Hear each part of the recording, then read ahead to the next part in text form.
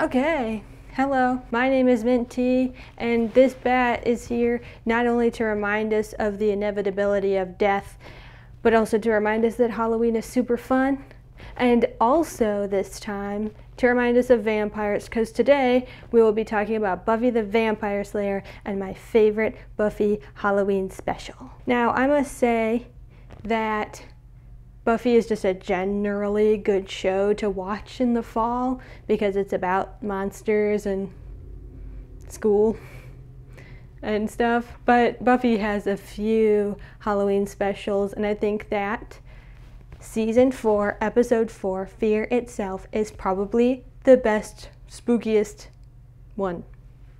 If you haven't seen Buffy before, here is some background on the characters because you need to know it. It's not episodic. It is it is continuous storyline. So we have Buffy. She's a vampire slayer. Wow. Which means that she is like this little superhero. She fights vampires and other demons around town. And she has a friend named Willow who is a aspiring witch she can do a little bit of witch stuff, but she is kind of on her own with it, you know. So she her skills are um, new. then they have Xander, who is a normal old human. He doesn't have any superpowers and he doesn't have any ambitions. He's just a guy. Willow has a boyfriend named Oz, who is a werewolf. He's very chill otherwise. Xander has a girlfriend named Anya, and that is very new at this time. She is a former vengeance demon, so she used to like grant wishes of vengeance from women who were wronged by a husband or a boyfriend, and it's the whole thing that you find out in season three. So she's a little weird because she's like from like the 1800s or something, and she doesn't really know what modern life is like, so she acts a little funny. Uh, not that they all don't, it's Buffy. Um, and then we have our two older cast members. We have Giles, who is Buffy's watcher. So he was the school librarian at her high school, and now he's just kind of like the knowledge guy. He guides her, he tells her about like new demons and how to fight them and stuff like that. And then Buffy's mom, who's just a normal old human. I think that's all the characters you need to know about main cast. In this particular episode, Buffy is upset because she's new in college and she used to have like this long-term boyfriend in high school, but he was a vampire and it didn't end well. And then so she finds this new guy and then they hook up, but he doesn't he's not interested in her and he ghosts her. And everyone's like mad at him for that and Buffy is depressed and she thinks that everybody's gonna leave her and there's no hope or point and being a slayer is such a burden. That's pretty much her uh, which her catchphrase. She hates being the slayer. She's like, you know, I watched this first in high school and I did not think the show was that angsty. I just rewatched this episode Boy, is it angsty. Goodness gracious, how angsty was I? If this is how angsty the show is and I didn't even notice. Now we have some background, so we hop right in. Buffy is depressed. She's sad. She doesn't feel like going out partying. She doesn't feel like hanging out with her friends because she feels like everybody, you know, doesn't like her anymore and, and what's even the point? And she tries so hard and everybody just leaves, you know. Things are really dramatic when you're 18 and a slayer the gang wants to go to a frat party. And this frat party is supposed to be like super lit. But these frat guys they're like this isn't scary enough. They're setting up this party and it looks too like cheesy. And they want to make it scarier. And this one guy finds like this little spell book and he's like this little symbol is pretty scary.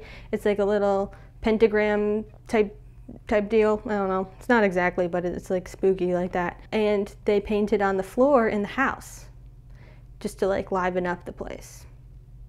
But Rutro, that little symbol was real, and these they're tinkering with real little demon stuff, and it causes all the decorations to come to life in the house, and the house is going haywire. So the gang arrives at the party and it's like a maze. Like they just keep walking around in circles and they can't find the front door, they can't find the stairs, they can't find whatever. And this is like causing a bunch of tension between everybody because like they're already moody. Buffy's super moody and Willow's like, "Shut up." And Xander's like, "You guys are college students and and and you don't like me anymore because I'm not a college student and you're gonna leave without me. Leave without me? You're gonna you're gonna abandon me. The theme of today's story is abandonment.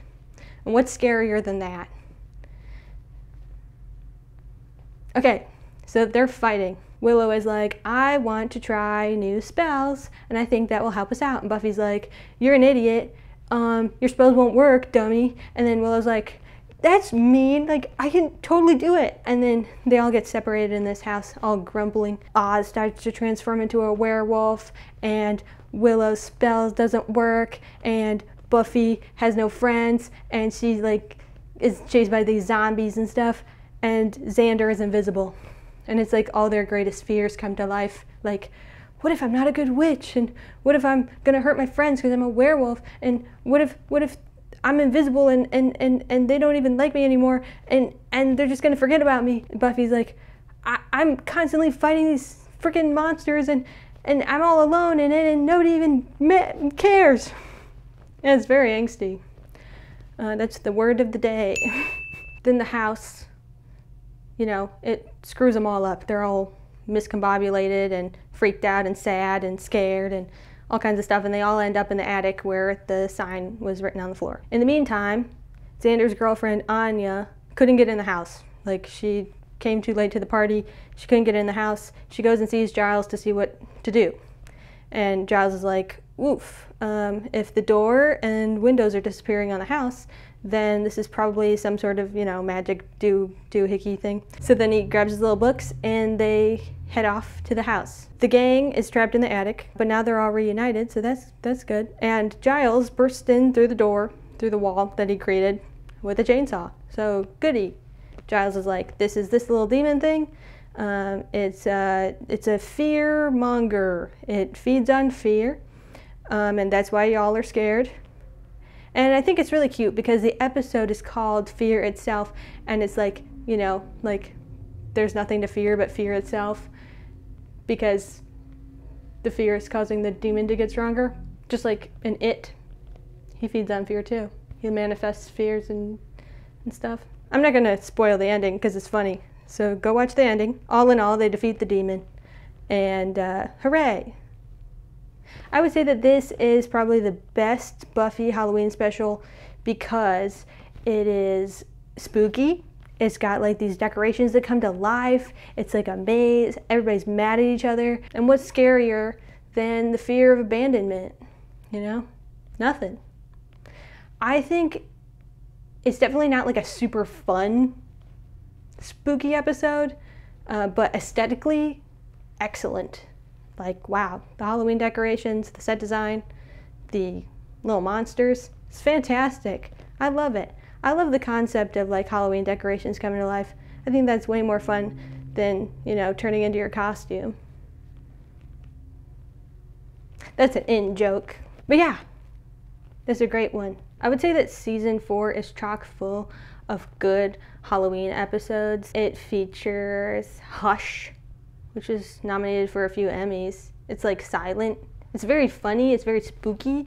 It's very like nightmare And if you also like nightmares and dreams and stuff like that, they also have the episode Restless, Rest, Restless, which is the season finale, and you get to see all the characters' dreams, and they're pretty funny.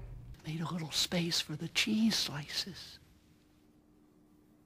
just like a side note, Buffy is like way quirkier than I remember the show, not the character necessarily. But like I I knew that like like they say a lot of funny slang that they make up, but I didn't realize that it's every single line of the show.